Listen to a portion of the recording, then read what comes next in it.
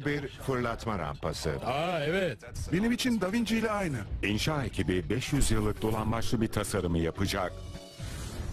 İki takım fırlatıcısı var ve bu çok büyük. Daha ileri eğilebilir. Bak şimdi. Ama şimdi geriye dönelim. Ters duruyor. Endişelenme. Projenin tam olması gerekiyor. 4 santimetre, 8 santimetre aşağı. Evet. Bunu böyle kesersen kavga çıkar. Bil ve benim yaptığıma bak sakın söyleme. Da Vinci'nin büyük çift vuruş fırlatma rampası parçalara mı ayrılacak? Vay canına. Ya da en sonunda ölümcül bir yük mü fırlatacak? Ah, Leonardo da Vinci gerçek bir Rönesans adamı. Bilimin ustası, sanatın ustası ve savaşın ustası. Onun çığır açan tasarımları eşsiz yıkımlara sebep olabilir. O günlerin en gelişmiş silahlarıydı.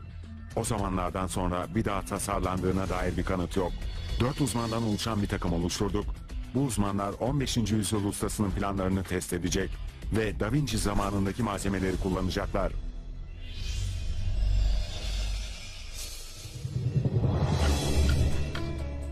Bu hafta ne olacağını dört gözle bekliyorum. Doktor Pevsner, Merhaba doktor. Nasılsın? Baylar, günaydın nasılsın? Nasılsınız? Nasılsın? Sizi gördüğüme sevindim. Yine heyecanlı bir iş. Bir başka savaş makinesi. Sanırım bu size tanıdık gelecek. Bu çift vuruş fırlatma rampası. Ha, evet. Çift vuruş mu? Çift vuruş. tasarımı sevdim. Bu harika, Harika muhteşem. evet. Da Vinci'yi anlatan bir tasarım. Evet. Leonardo 1480'lerde bunu tasarladı. Bu fırlatma rampası ile ilgileniyordu ve onlarca eskiz çizdi. Ve çok ilginç bulacağınız bir şey geliştirdi. Bunu çok özel bir yolla ateşledi. Ve şimdi bir fırlatma rampası yapacaksınız. Ama iki taş fırlatacak. Canına. Güzel. Ebatları ne kadar? Çizimlerde belli bir ölçü yok ama taslaklara göre 3 adam boyuna denk geldiği gözlemleniyor. Yani yay gerildiği anda 5-6 metreyi bulduğunu açıkça görüyoruz. Bu oldukça büyük Ha, ve gerçekten şık ve gösterişli görünüyor. Sağ tarafında bir merdiven var. Böylece adamlar yukarıya tırmanabiliyor. Ve fırlatılacak taşları yukarı taşıyorlar. Biri fırlatma yerine diğeri alt tarafa konuyor. Fırlatma yerindeki taş tehlikeli olabilir. Nereye gidecek? Doğru yerleştirilmezse havaya doğru rastgele fırlamaz mı? Ne tür bir fikriniz var? Şimdi son olarak mekanizmanın nasıl çalıştığını göreceksiniz. çizimler üzerinde pek bir şey belli olmuyor. Biz temelinden yola çıkarak bazı fikirler oluşturabiliriz. Başka bir şey yazmamış mı? Başka bir şey yok. Tahminde bulunmak için elimizde Leonardo hakkında toplanmış bilgi yok. Tamam. İşe başlamadan önce birkaç tavsiyem olacak. Leonardo'nun fırlatma rampası taslakları gerçekten çok fazladır. 15-20 tane taslak olmalı. Ama bir hafta içinde yapılmadılar. Farklı fikirleri denemek için vakti vardı. Savaş alanına girmek için vakti vardı. Ve önceden yapılan fırlatma rampalarını inceledi. Mekanizma üzerinde çalışmak için de vakti vardı. Yani bunlar kolay olmadı. Sizin bir haftada yapacağınız şeyi o bir senede yaptı. Teşekkür ederim. Tamam. Umarım şansınız bol olur ve güzel bir yapı ortaya çıkar ve ateşlemeyi başarırsınız. Umarım taşları geriye değil ileriye fırlatırsınız. Güzel. Görüşürüz Herkese doktor. teşekkür Hoşça kal. Bunu sevdim. Bu tasarıma gerçekten bayıldım. Harika. Evet bu harika. Bu tam bir Da Vinci tasarımı. Düşündüğümden kesinlikle daha büyük. Ölçülerini vermiş olsaydı daha iyi olacaktı. Evet haklısın. Dediği gibi 6 metre boyunda. Ah, bu yaptığım en uzun makine olacak. Evet, Muhtemelen. mekanik parçalara bakıyorum. Ama organik parçalar ve fırlatma gerginliğinden pek anlamıyorum. Evet, evet, evet. Ne yapmalıyız? Konuşmamız gerekiyor. Evet. Steve hakkında. Doğru. O bir ok uzmanı. Ben yine bu makineyi çizmeye başlayacağım. Sembolik olarak ağaç boyutlarını sizden alırım. Sonra bunu gerçeğe dönüştürürüz. Konuşmak için elimizde bir şeyler olur. Steve'i arayacağım. Tamam. Ondan fırlatma mekanizmasını öğrenmeliyiz. Evet, Sonra devam ederiz. Bol şans Terry. Görüşürüz. 20 dakikada halledeceğim. Güzel. Tamam, hadi bakalım. Ve 25 dakikada inşaya başla. tamam o zaman. Evet. Bunu sevdim. İlk olarak Da Vinci'nin çift vuruş fırlatma rampasını görünce bana sembolik bir çizim gibi geldi. Yapacağım ilk şey çizime bakıp görüntüyü ölçülere göre düzenlemek olacak. Bu çizimler hakkında ilginç olan şey ölçek özelliklerinin gerçekte iki türlü olduğudur. Elimizde bir merdiven var ve her bir basamağının tahmini aralık ölçüleri var. Ayrıca göğüs hizasında bir kol mekanizması görüyoruz. Burada iki tür ölçü var. Bu yüzden tüm çizimin ölçülerini alıp doğru bir şeyi ortaya çıkarmak zorundayım. Rakamlar 8 metre yüksekliği ve 4 metre genişliği gösteriyor. Ve fırlatma kolunun gerilmemiş hali de 7 metreyi buluyor. Bu dev gibi olacak. Akla gelen ilk şey işin en zor kısmı oluyor. Fırlatma mekanizmasını nasıl yapacağımızı bilmiyorum. Burada gördüğümüz mesafe, buradaki kalınlık ve buradaki kalınlık iki tane daire çizmemi gerektirecek. Bilgisayarda biraz uğraşmam gerekiyor. Gördüğünüz gibi fırlatmayı yukarıda hiçbir yere koyamadım. Bunlar serbest delikler. Fırlatma esnekliğini ve üst tarafını çalışmam gerekiyor. Ok ustamız Steve'le konuşmalıyım. Bu kolay bir yapı olmayacak. Çok ağır keresteler gerekiyor ve çok iyi kesimler yapmalıyız. Flash'in çalışmasını dört gözle bekliyorum ve bu yapının bitmesini istiyorum tabii ki. Steve Gardner bizim ok ustamız. Orta Çağ'a ait oklar hakkında bilgi ihtiyacımız olduğunda hep ona danışırız. Beyler hazır mısınız? Evet. Bu bir 12 modelidir. Tamam. Bunun farklı boyutlarını yapmıştım. Bu konuda bilgim var. Umarım çok güzel bir şey yaparız. İlk bakışta bu çizim bana elips şeklinde bir çubuğu hatırlattı. Ama aslında bu mükemmel bir daire. Aslında şuradan şuraya sürekli bir incelme var. Bu neredeyse tam bir daire olmuş. Ayrıca merak ettiğim şey bunun burada nasıl çalışacağıdır.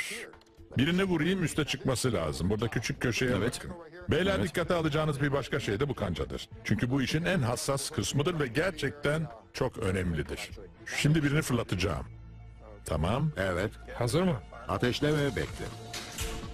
Çok yükseğe gitti. Evet. Evet çok iyiydi. Harika bir vuruştu. İşte bu gördüğüm 1.12 vuruşuydu. Daha fazlası olabilir mi? Hayır. Ölçüyü ikiye katlarsan mesafeyi de ikiye katlarsın ve mermini 8 kat büyütmen gerekir. Ancak mesafeni arttırırsan olabilir. Evet uzağa ve yükseğe gittim. Ha, evet güzel vuruş. Gerçekten çok iyiydim. 5 metrelik kerestere yaparsak bu bağlamı 4 metrede yapabiliriz ve bu tam açıyı yakalamamızı sağlar. Evet, Evet, istediğimiz gibi olur. Ve böylece doğru çalışır. Aslında ilk olarak düz bir ok yapmalıyız ve üzerinde güzelce oynamalar yapıp düzeltmeliyiz. Bu iyi bir plan. Evet, Evet. Başlayalım. Tamam. Gerçek boyut zamanı. tamam hadi. Evet beğendim. İşe koyulalım. Pekala beyler, bu çizimlerde anlamanızı istediğim şeyler var. Anlaşıldı mı? Bu işin içinde tuhaf kesimler var. Bu büyük bir parça. Önden arkaya kadar 8 metre tutuyor. Bu sıkıştırma yeri de 5 metrelik bir parça. İlk parça tam 240 kilogram. İşe iskeletiyle başlayalım. Eminim ki işe böyle başlarsak kesimlerden memnun kalırız.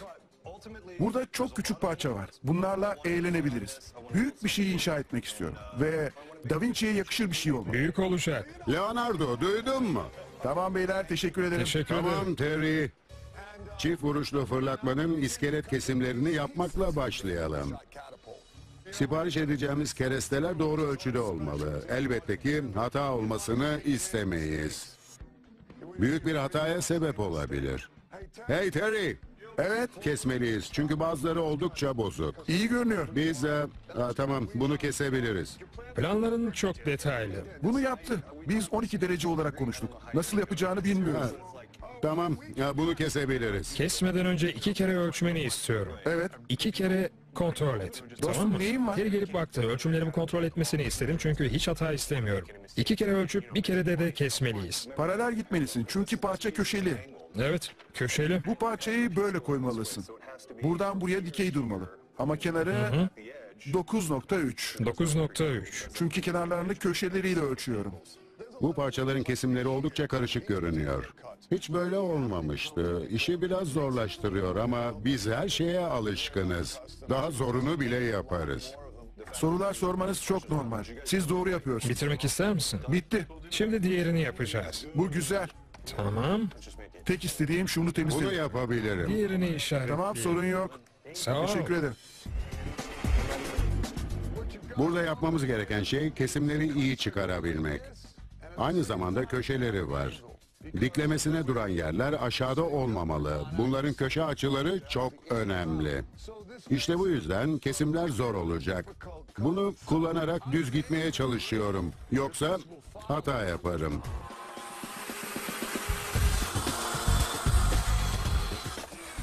Para için böyle konuşuyorum tabii.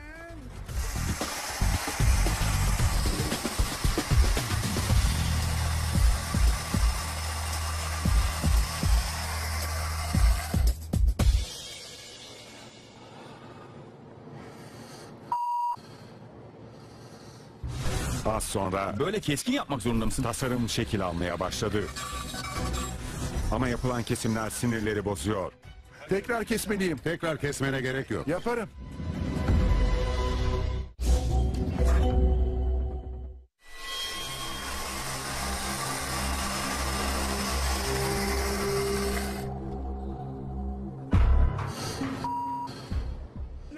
Evet ilk kesiğin her zaman derin olduğunu söylerler. Sanırım e, bu taraftaki biraz derine gitti. Ufak bir kesik ama kayakların olacağı yer. E, iyi hallettim ha. Şimdi geri kalanını daha dikkatli yapmalıyım.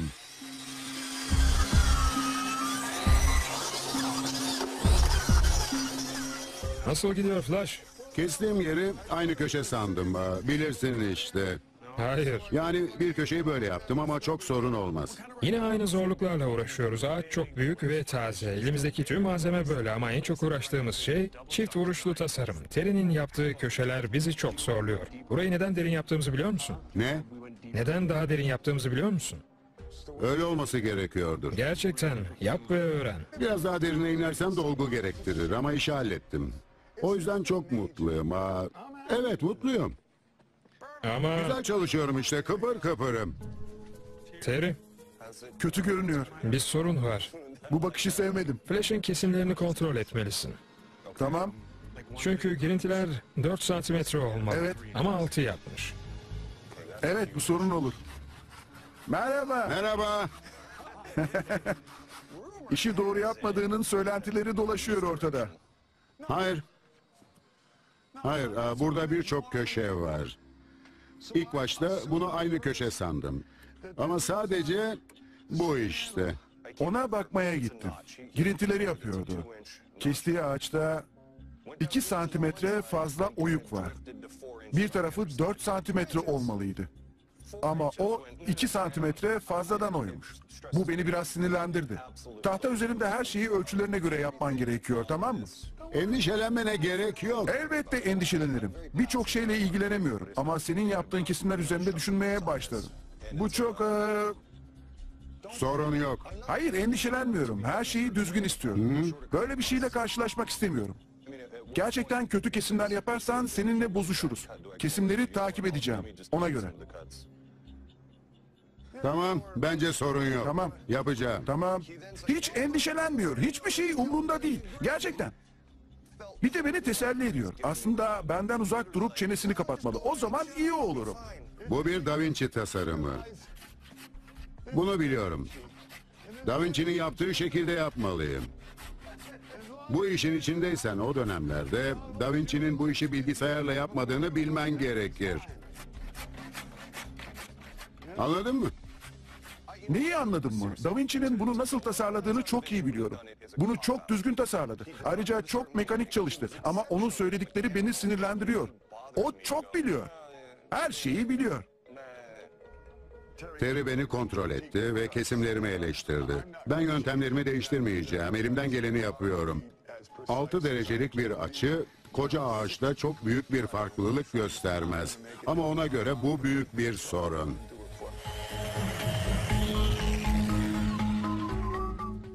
Birkaç testere izi bırakalım. Otantik görünür.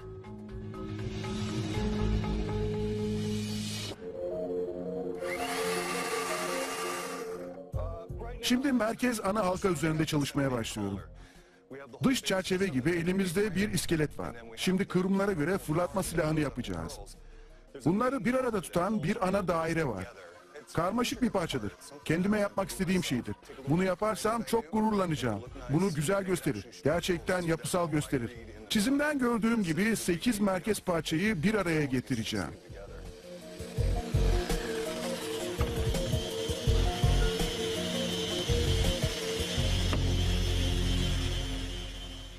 Popom ağrıdı. Hidrojet parçalarımız var. Bunlar rüzgar için dişli çark mekanizmasıdır. Rüzgar fırlatmaya doğru esiyorsa buradaki tıkaçlar işimizi görür. Bunlar iyi parçalar. Korsan gemisinin çarklarına benziyor. Çok keskin yapmışsın tanrım. Bitirmek zorunda olduğumuz arka tarafı yapıyorum. Dişlileri kesmeden önce dairenin çevresini her zaman düzeltmekten yanayım. Çünkü bunun etrafında kancaları içine koyacağımız tam 8 delik yapmalıyım.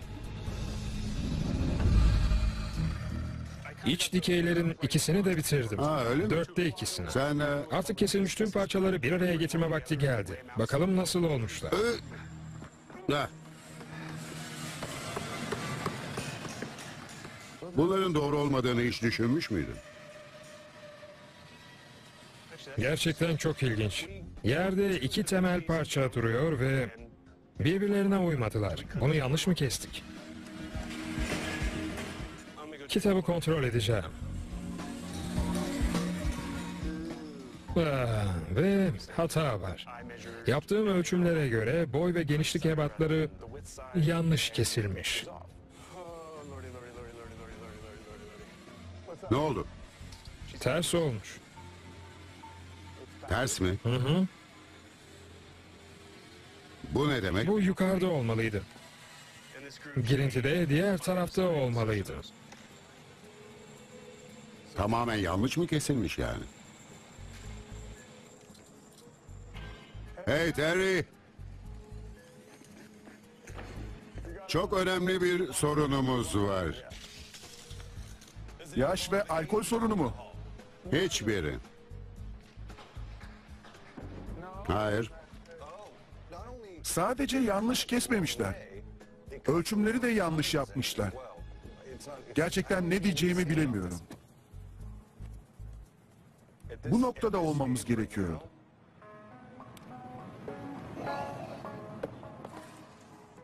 Ah, Olamaz. 1500 dolarlık bir hata var. Size buradan ne yapmanız gerektiğini anlatacağım. Kimse aptal değildir.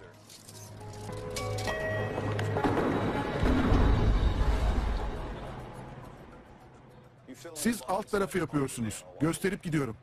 Şimdi oldu mu? En alt kısmını ben mi yapacağım? Böyle sinirlenmek zorunda mıyım ha? Yanlış kesimlerle uğraşmak zorunda mıyım? Bu hiç iyi olmadı. Bir parçamız var ve bunu güzel yapmalıyız. Doğru kesilmesi gerekmiyor muydu? Evet. İşin doğrusu bu.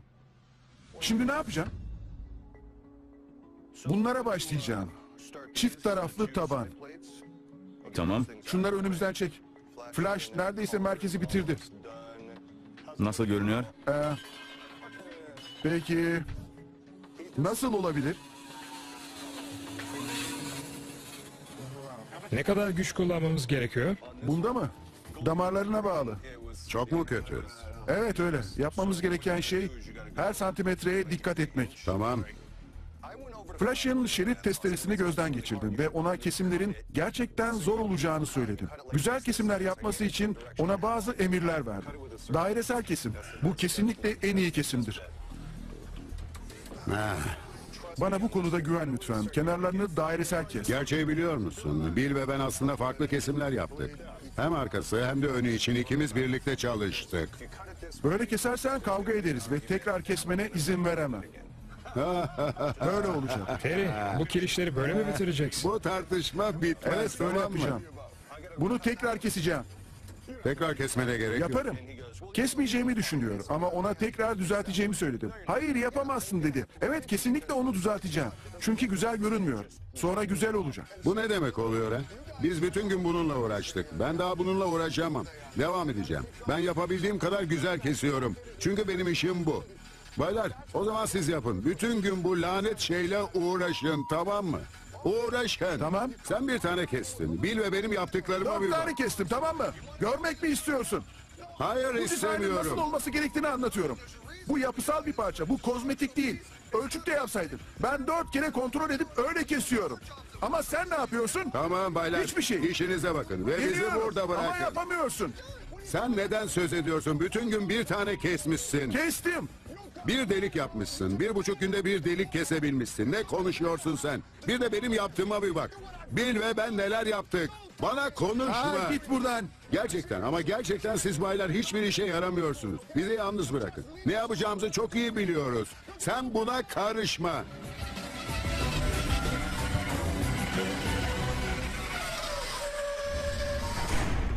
Az sonra Bill ve ben her parçayı kestik. işleri yoluna koymaya çalışıyorlar. İş zamanı. Hazır mısın? Ve dev testere büyük keresteler geldikçe kendini gösteriyor. Bugün bir kereste kestin. Ben yaptım. Bir buçuk Kes günde artık. sadece bir delik kestin.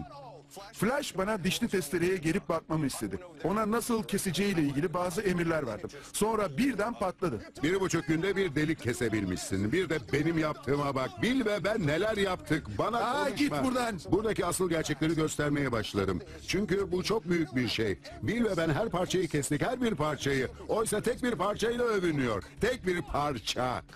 Gerçekten ama gerçekten siz hiçbir işe yaramıyorsunuz. Bizi yalnız bırakın. Ne yapacağımızı çok iyi biliyoruz.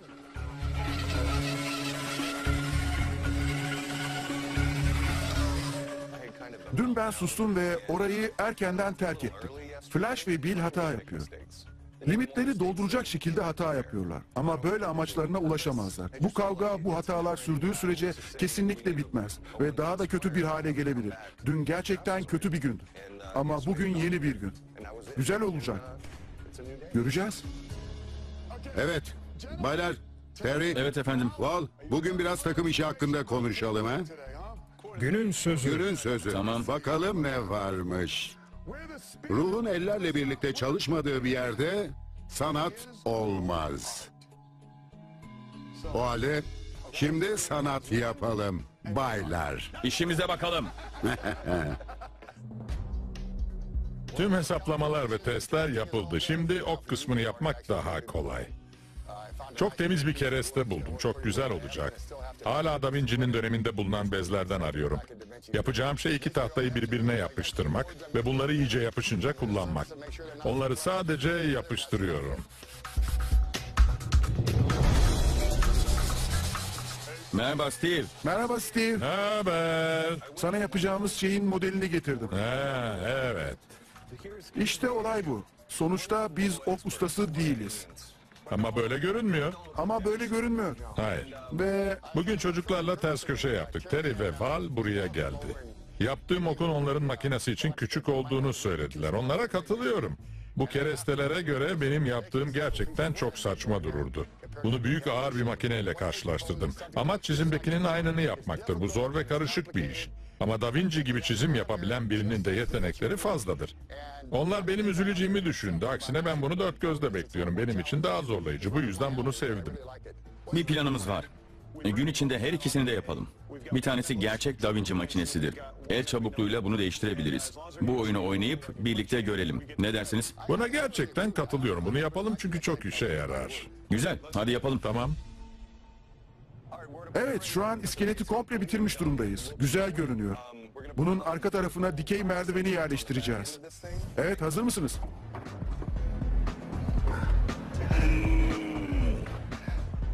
İlk önce pozisyonu aldık. Sonra köşelerini ayarlayacağız. Birazdan şekil alacak. Bunu oraya kolayca taşıyabileceğimizi söylemek isterim. Ama bunu oraya koy. Bu uzun sürer. Tamam hazır mısın? Hazırım. Hızlı gitmeyi sevmiyorum. Ne yaptığımı da biliyorum. Takip etmek istiyorum. Kenarı izle. Hızlı gitmeye gerek yok. Biraz yavaşla Flash. Şimdi yapacağım şey o noktada durmak olacak. Döndür. Ben ve Bill bunun bir yere gitmesine izin vermeyeceğiz. Biraz sağda kenarı var. Ama devam et sen yine de. Devam et. Oo. Ha, dur. Devam et. Biraz daha ileri git. Evet bu Hey, mükemmel. harika. Beyler biraz daha kaydırın. Aşağı Evet, bırakacağız. evet kesinlikle. Bil onu izle. Biraz geri getirin. Biraz geri getirin çocuklar. Tamam. Düşecekmiş gibi duruyor. Tamam. Geliyorum. İşte oldu. İşte oldu. İşte oldu. Evet. İşte oldu. Burada köşeler var. Bill geri geldi ve öne gitti. Aa işte oldu. Şimdi neden böyle kesimler yaptığımızı daha iyi anladım. Ha, dostum. Bence bu bir eldivene benziyor. Daha iyisini yapamaz. Harika oldu. Bizi ağlatacak mısın? Yakından bakayım. Ya, üzerinde ufak bir parlama var. Bu adamlar güzel iş yapıyor ama yapmak zorundalar. Evet, önceden yaptığımız gibi iyi iş çıkardık. Bunu onlara söylemelisin. Hayır hayır, bu fazla olur. Onlar büyük resmi görmüyor. Flash ve ben ne yaptığımızı biliyoruz. Tam doğru yoldayız. Konuşmamızın sonunda endişelerimizi açıkladık ama sonunda her şey çok iyi görünüyordu. Her şeyi bir araya getirdik. Ve sonuç olarak hiç boşluk yoktu. Yani bu harika bir şey oldu. Çok mutluyum. Harika. Tam burayı delmeye başlayabilir miyim? Henüz değil. Tamam. Başardık ha. Biz iyiyiz. Frank ve ben kolu çalıştırmaya karar vermiştik. Günün sonuna doğru bazı işlerimiz çıktı. Fırlatma rampası. Bütün aksları bitirdik. Bütün köşelere de kaynak yaptık. Şimdi sıra ateşlemede. Evet, beni öldüren şey işte bu. Birini aldım.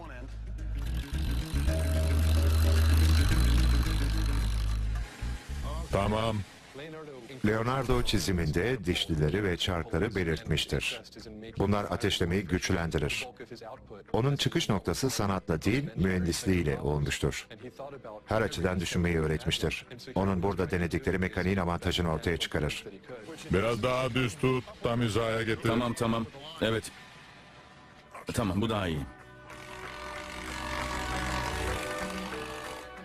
Tamam. Şu an Da Vinci'nin çiziminden bile iyi görünüyor. Çizimi tam tamına yerine getirdik. Bu harika. Ha, fırlatma makinesi için son aşamaları yapıyoruz. Tahtaları güzelleştiriyorum. Böyle daha havalı duruyor.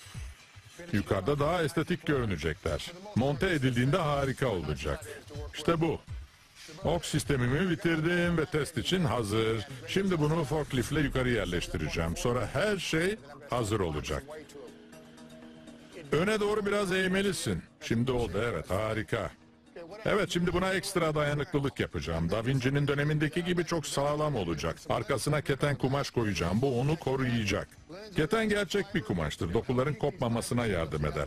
Ok sisteminde kırılmayı önleyen bir kumaştır. Bana göre bu bizim çok işimize yarayacak. Atışlar harika olacak. Tüm fırlatma sistemi neredeyse bitti. Şimdi onu güzelce boyayacağız. Biraz altın rengi verelim. Aslında resimdeki renginin birebir aynısı olacak.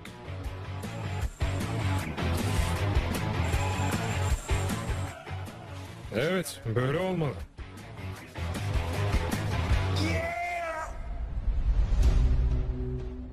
Şu an bütün donanımı hazır hale getiriyoruz. Aslında her şeyi yerine henüz koyamadık. Frank çok harika bir makara sistemi yaptı. Tek gereken bir halat. Kanca mekanizması da hazır. Yani her şey hazır. Steve'in fırlatmayı monte etmesi gerekiyor. Bana orada Oldu. yardım edecek biri gerekiyor. Ben yardım ederim. Ve sonra bunu öne ittireceğiz. Hadi yapalım. Tamam, hadi. Şimdi Flash ve Bill benimle birlikte çift vuruşlu fırlatma makinesinin en üstüne tırmanacak. Steve'in ok sistemini oraya yerleştireceğiz. Tüm sistemi kontrol edeceğiz. İlk kez silahsız bir tatbikat yapacağız. Bill iyi misin? Evet, araya aldım. Ok sistemini yerine koyduktan sonra kancayı serbest bırakacağız. Val bunu çok güzel yaptı. Makasla kaldırmayla yukarı çıkıyoruz. En üste çıkacağız. Ama bir sorun var. Yay sistemini iple yukarı çekip sonra nasıl aşağı indireceğiz? Yani bu çok dikey durumda. Yaklaşık 8 metre burası. O yüzden çok zor olacak. Bunu hep düşünmüştüm ama işin içindeyken çözebiliriz. Hepimiz bunu nasıl aşağı indireceğimizi bulmaya çalıştık. Sonra bir merdiven getirmeye karar verdik. Evet, tamam. Val ve ben geri çekiyoruz. Bu ok çok fazla güç istiyor. Oo, Bu çok ağır. çok ağır. Tanrım. Steve'in 100 kilo gibi bir güç gerekeceğini söylediğini düşündüm. Ama belki 2 metreden geri çekebiliriz. Geliyor, yaklaşıyor ve çekmeye çalıştık. Val ipi çekerken ayakları havaya kalkıyordu. Bu ok sistemi çok ağır çünkü. Sonunda Da Vinci'nin çift vuruşlu fırlatma makinesi için her şeyi yerine koyduk. Oku aşağı çekmek için makaraları kullandık. Çok yavaşça aşağı çektik. Bu işi ne kadar da iyi yapıyormuşuz. Evet, bu mükemmel. Harika. İşte bu. Yavaşça aşağı doğru gelirken bir şey fark ettim. Yay hiç de benim düşündüğüm gibi eğilmiyordu. Her şey yolunda. Daha iyisini yapamazdık. Fonksiyonları güzel çalışıyor. Bu harika. Yani her şey muhteşemdi. Ama kol çalışmıyordu. Ha, daha çekecek Daha miyiz? ne kadar çekebiliriz ha? Ne kadar çekebiliriz ki? Olamaz. Ay canına. Oh. Sana demiştim. Lanet olsun. Yay sistemi yere çakıldı. Vay canına. Ok sistemi ikiye bölündü. Sen... Gerçekten eğer yakınımızda olsaydı öldürebilirdi. Bu çok sert bir düşüştü. Ağaçlar çok keskin olabilirdi. Bu gerçekten ölümcül bir kaza olabilirdi. Vay canına. Felaket getiren çocuklar. Bu gerçekten tek kelimeyle bir felaketti. 11. saatte kaza oldu. Sanırım makinenin bir yerinde zayıf noktalar vardı. Muhtemelen zayıf yerler yay sistemini etkiledi. Ok sisteminin kırılması çok normal. Ama siz bunu önceden bilmiyordunuz. Siz sadece tasarımını çok güzel bir şekilde yaptınız. Sistemin bozulması sizi şaşırttı.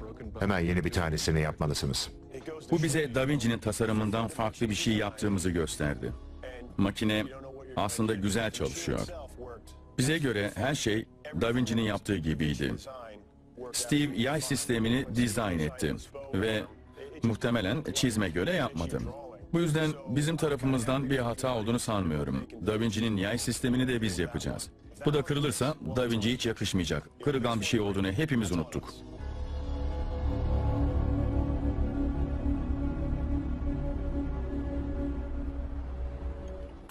B köprüsüne bakın. Bu yeni. Yeni bir tane.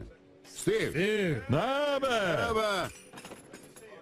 Her şey toplanmış görünüyor. hoş geldin. Senin için hazırız. Uzun yol ha. Uzun yoldan Buraya gel sana bir şey göstereceğiz. Bir sorunumuz var dostum. Ah, öyle mi? Bir sorun mu var? Sabah oraya gittim ve sistemin daha test edilmeden kırıldığını gördüm. Sürpriz. Kesinlikle. Oraya gelip onun kırılmış olduğunu görünce biraz üzüldüm. En azından test etme şansım olsaydı. Evet, Steve burada. Yay sistemini nasıl bitireceğimizi konuşacağız. Evet beyler 21 parça keresteyi görüyorsunuz. Her bir kerestede aynı noktada bir delik vardır ve bu ağaç parçaları bunun üzerinden kayacak. Güzel yumuşak bir iniş yapacak. Sorunla uğraşacak vaktimiz yok. Hepsini tutkalla yapıştırıyoruz. Böylece ıslak ağaçla uğraşmıyoruz. Çiviler bunu sağlam tutacaktır. Bu yan tarafları son parçayı koyana kadar onu tutacaktır. Sonra bağlantı yapacağız. Bu sabah bu yapıştırma işini yapıyoruz. Her şeyin yolunda gitmesi için herkesin çalışması gerekiyor. Sınırlı vaktimiz var. Hepimiz aynı durumdayız. Yapıştırıcı bitebilir veya bir şey ters gidebilir. Bir şeyler ters giderse her şey mahvolur. Diğer parça için hazır mıyız? Geliyor. Ortaya bastır, biri ortaya bastırsın. 5 metrelik 21 parça var. Herkes anladı mı? Evet, Anladık. anlaşıldı. Yapıştırıcı tutuyor gibi görünüyor. Amacımıza ulaşıyoruz. Endişelendiğim şey bu yapıştırma aşamasında bir sorun olmasıdır. Çünkü bir terslik olursa her şey yeniden başlar. Küçük hatalardan nefret ederim ben. Çünkü tüm projenin sonunu getirebilir. Diğerini hazırlayın. Tamam. 10 numara. Evet, Harika. harika. Tamam. Son parça geliyor. Evet şimdi bağlama aşamasındayız. Bu kelepçeleri sıkıca oraya takmalarını istiyorum. Ağaç oldukları için çok sıkıştıramayız. Yine de gevşek yapmamalıyız. Yaptın mı? Şimdi daha iyi görünüyor. Evet, Neredeyse bitirdik. neredeyse bitti. Neredeyse bitti. İşte oldu. Hey 5 dakikan var. Evet. Şuna bir bakayım. Görmek istiyorum. İşin sonunda bütün yay sistemi gerçekten harika görünüyor. Yapıştırıcı da iyi görünüyor. Zamanında bitirdik. Her şey güzelce bir araya geldi. 24 saat gerekiyor. En azından 4-5-6 saat yoğun güneş ışığı lazım. Güneş görmesi için bunu dışarı çıkaracağız. Burada kendine gelecek. Ve yarın her şeyi bitirmiş olacağız. Ayrıca yepyeni harika bir yay sistemimiz oldu.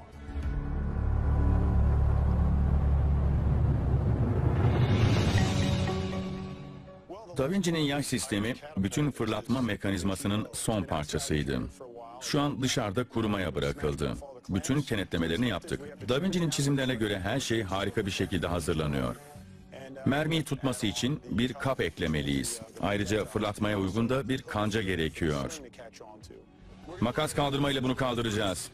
Bu mekanizmayı makas kaldırma üzerine koyacağız. Biraz kurnazlık yapıp işi bitirmeliyiz. Oo, vay canına. Asıl gövdenin üzerine kenetleme gerekiyor. Ha, tuttum. Gidiyordu. Parmaklarına dikkat et. Bu noktada artık her şeye hazırız. Yay sistemini yerine yerleştirdik. Her şey kenetlendi. Bütün parçaları bir araya getirdik. Bu makinede her şeyi bitirdik.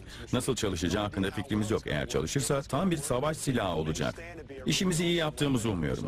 Ateşleme testinde bunu göreceğiz. Ayrıca iki mermi çıkışımız da var. Şimdi Doktor Pevzner'ı buraya alma vakti. Az sonra Ee, Baylar hazır hazır mı? Leonardo'nun çift vuruş fırlatma silahı sayfalardan günümüze geldi. Peki takım 500 yıllık teknolojiyle mermileri havaya gönderebilecek mi?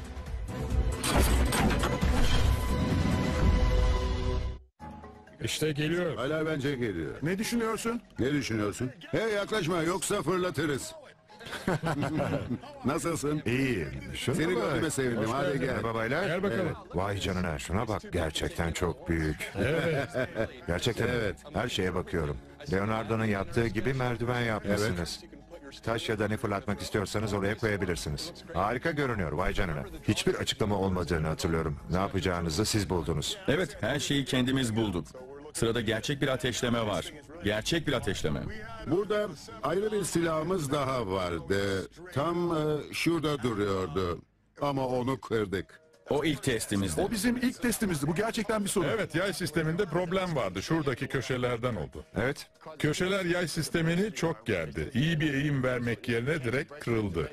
Anlıyorum. Evet. Mermi fırlatışı nasıl? Onu denemek için vaktimiz kalmadı çocuklar. Bu gerçek bir test olacak tamam mı? Ve umarız çalışıyordur.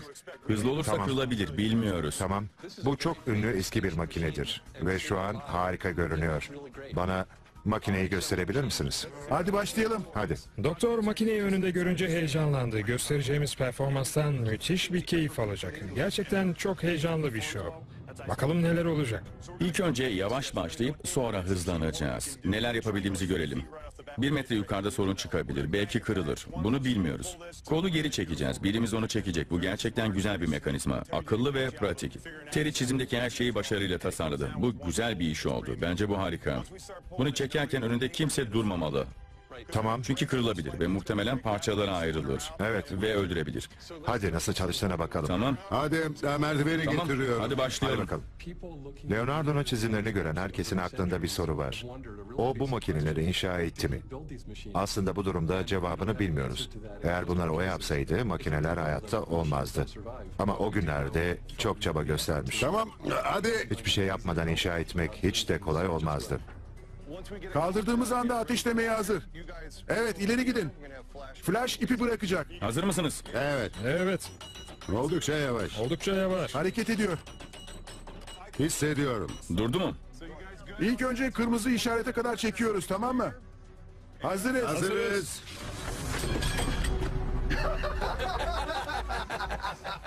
İşte bu kadar. Harika. Bu çok ilginç. Dev gibi bir yapı görüyoruz ve 3 yaşındaki kızım bile mermileri daha uzağa atabilirdi. Makine çalışmadı. Çok etkileyici. Güzel görünüyor ama çalışmıyor. Şimdi yarısı kadar kaldıracağız. Tamam mı? Beyler hazır mısınız? Herkes geri çekilsin. Yerlerinizi alın hadi. Tamam. Bir, iki, üç. Bir metre daha ileri atmayı başardık. Leonardo'nun zamanına geri dönmeyi düşünüyorum. Onun tasarımlarını yaptık. Hayatıyla ilgili birçok şey biliyoruz. Ama onun yaptıklarını hayata geçirmek çok zor bir iş. Denedik ama makine çalışmıyor. Bence 500 yıl geriye gidip üzerinde aile düşünmek gerekiyor. Evet beyler, bükmeye başlayalım. Hadi. Gözünü ondan ayırma. Aşağı geliyor. Kırmızı işarete kadar yapınca bir metre ileriye attık. Şimdi ikinci bir işaret yapalım. Kopabilir mi? Ha evet. Tamam. Hazır olun. Evet. Vay canına. Evet baylar neresi bozuldu?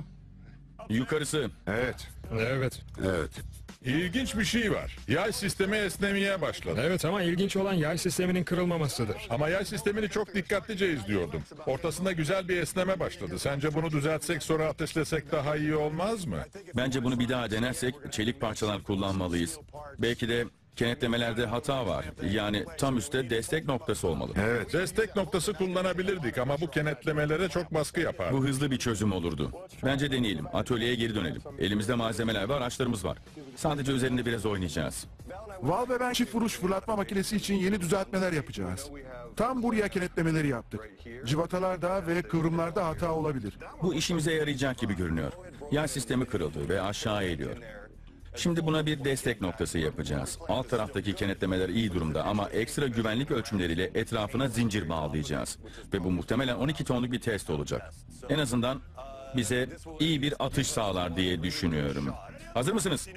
Bir metre eğim vermezse devam etmek için bir sebebimiz kalmaz. Bunun arkasına gerçek bir enerji sağla. Hadi bakalım başlıyoruz. Hadi buradan tutalım. Bu 40 santimetre. 3 metre mi? Hadi. Öncekinden daha iyi. Vay canına. Daha da zorlaşıyor. İşte bu. Tamam bekle bekle. İki kişi daha al yanına. Tamam mı? İki kişi. Tamam. İyi. Steve de çekiyor. Açıkça söylüyorum buna yaklaşma. Çekmeye hazır olun. Buna yakın bir yerde durmam ben. Ben yaparım. Kırılmış çok yay gördüm. Tamam. Hadi. Burada olmak daha kolay. Başla. Hadi. Evet. Başlıyoruz. Tamam.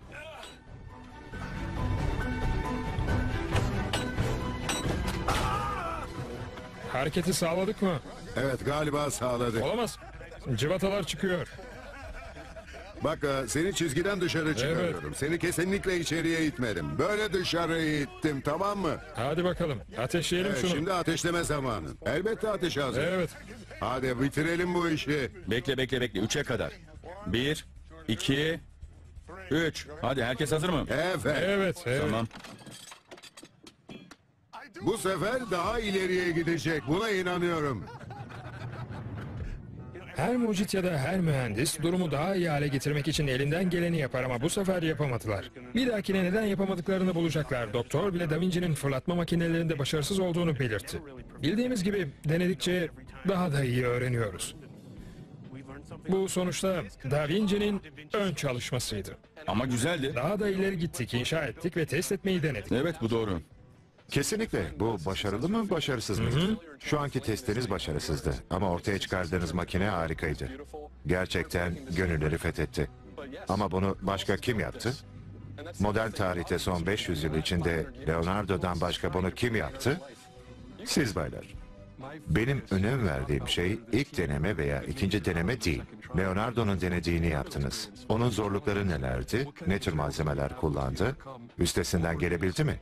Onun yenilikleri nelerdi? Böyle bir tasarımı çizebilirsiniz ama gerçekten hayata geçirmek çok zor olacaktır. Bu takım bunu başardı.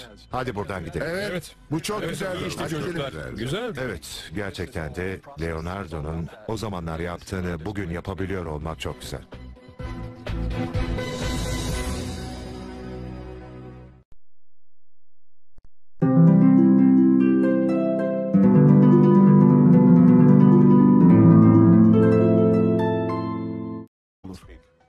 Arayacağım. Tamam. Ondan fırlatma mekanizmasını öğrenmeliyiz. Evet. Sonra devam ederiz. Bol şans Terry. Görüşürüz. 20 dakikada halledeceğim. Güzel. Tamam hadi bakalım. Ve 25 dakikada inşaya başla. tamam o zaman. Evet. Bunu sevdim.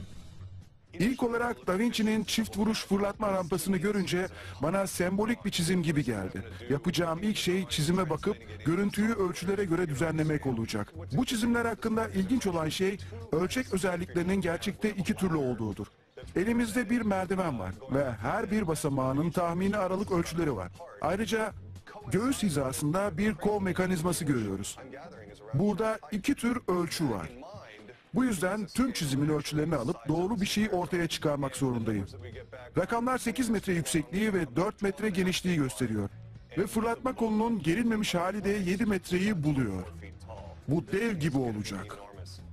Akla gelen ilk şey işin en zor kısmı oluyor. Fırlatma mekanizmasını nasıl yapacağımızı bilmiyorum.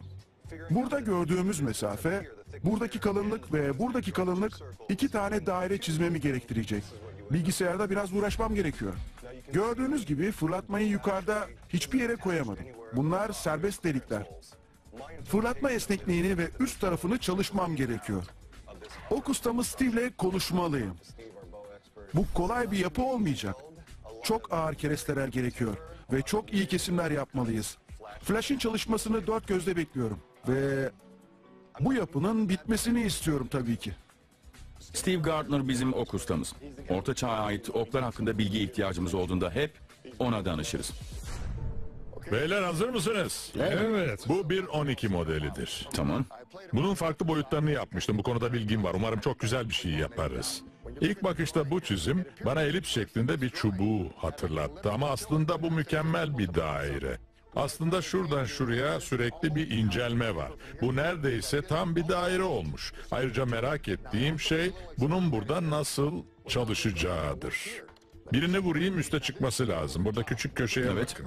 Beyler dikkate alacağınız bir başka şey de bu kancadır. Çünkü bu işin en hassas kısmıdır ve gerçekten çok önemlidir. Şimdi birini fırlatacağım. Tamam. Evet. Hazır mı? Ateşle ve bekle. Çok yükseğe gitti. Evet. Evet çok iyiydi. Harika bir vuruştu. İşte bu gördüğüm 1.12 vuruşuydu. Daha fazlası olabilir mi? Hayır. Ölçüyü ikiye katlarsan mesafeyi de ikiye katlarsın ve mermini 8 kat büyütmen gerekir. Ancak mesafeni arttırırsan olabilir. Evet uzağa ve yükseğe gittim. Ha, evet güzel vuruş. Gerçekten çok iyiydim. 5 metrelik kerestere yaparsak bu bağlamı 4 metrede yapabiliriz ve bu tam açıyı yakalamamızı sağlar. Evet, Evet, istediğimiz gibi olur. Bu hafta ne olacağını dört gözle bekliyorum. Doktor Pevsner, Merhaba doktor. Nasılsın? Baylar, Günaydın, nasılsın? Nasılsın?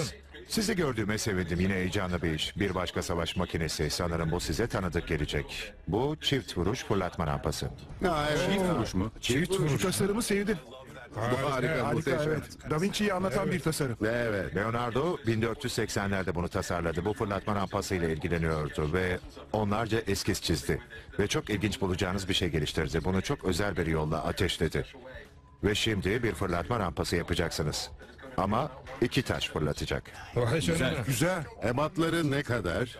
Çizimlerde belli bir ölçü yok ama taslaklara göre 3 adam boyuna denk geldiği gözlemleniyor.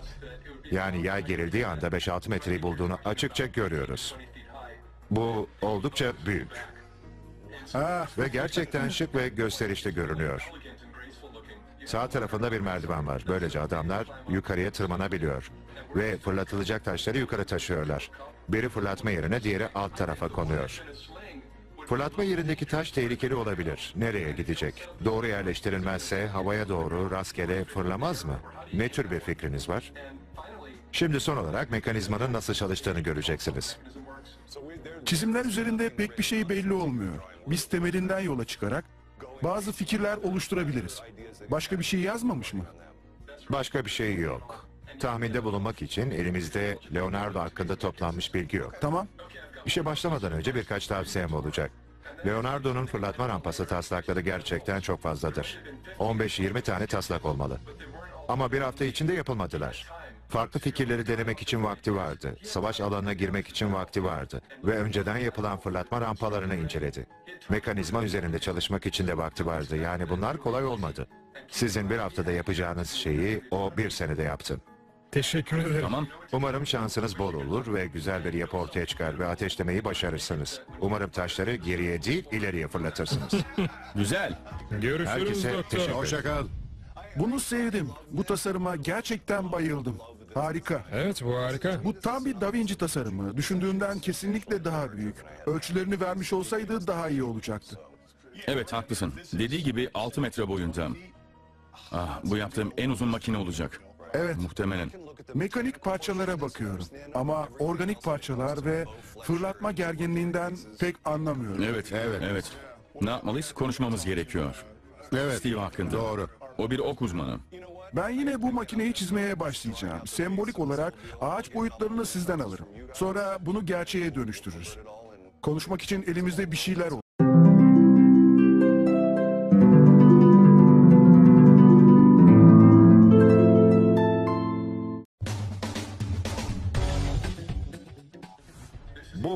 fırlatma rampası. Aa evet.